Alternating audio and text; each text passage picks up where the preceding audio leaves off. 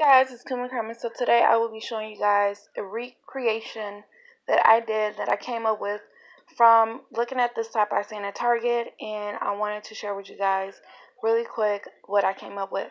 So the stuff you would need is some pom-poms which comes 80 in a pack, um, some glue sticks which has 20 in there and I got these from Dollar Tree as well as the glue sticks.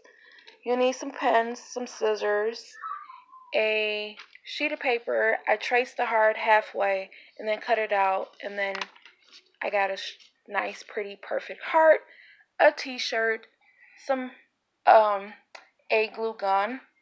And I'll show you guys really quick what the shirt looks like.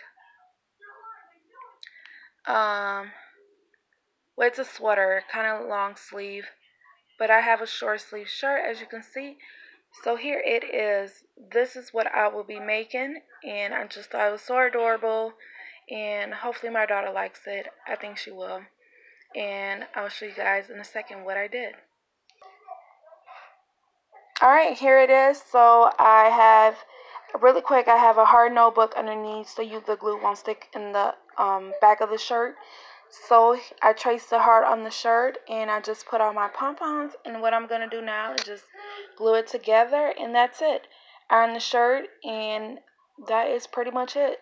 Nice and easy, crafty top that I came up with. And um, yeah, so I hope you guys enjoy this video. If you like to see more videos like this, I'm going to try doing that now.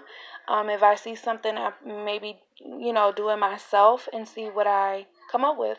Um, so this saved me maybe like $10 because all I had to do is get the gun, the gun and the pom-poms, and that was $2. And the shirt normally at Target, it is, um, I'll show you in one second.